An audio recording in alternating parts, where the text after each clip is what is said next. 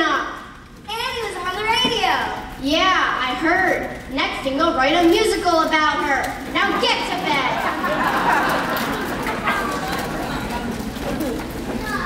A $50,000 reward? 50000 What I couldn't do with $50,000. Excuse us, ma'am. You the lady that runs this here orphanage? Yeah, what do you want? Ma'am, you worked in here 11 years ago. Yeah? Well, we had a terrible trouble back then and had to leave a baby here on the front stoop. Our little girl, our Annie. Oh, Ralph, I'm scared something could have happened to her. You're Annie's parents? I can't believe it. Where'd you say you come from again?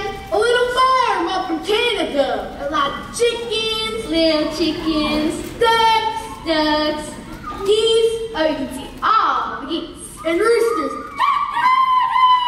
Gotcha, sis! Rooster!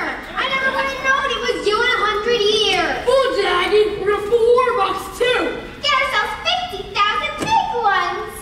We need your help, sis. The details bad Eddie. That can help us pull this thing off. What's in it for me, Ralph? Three-way split.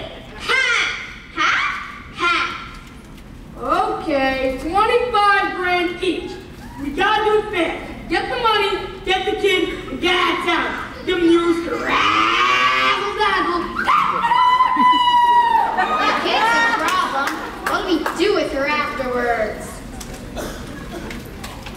No problem. When I want something to disappear, it disappears. For good. We get the 50 grand, we blow this crummy town, We'll now meet you. Where? Oh, oh,